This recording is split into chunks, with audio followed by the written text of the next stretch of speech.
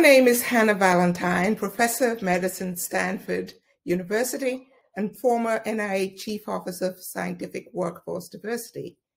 I am deeply honored to be the recipient of the 2022 Pamela S. Douglas ACC Distinguished Award for Leadership in Diversity and Inclusion.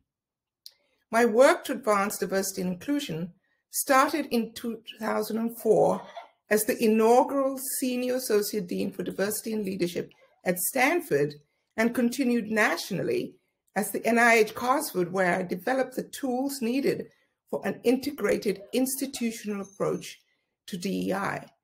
But of course, this work needs professional societies to play a key role, and this award is testament to ACC's commitment to action.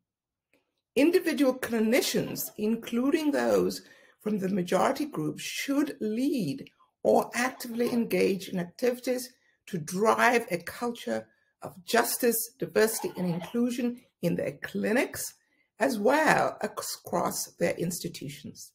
Again, thank you for this uh, distinguished award for diversity and inclusion.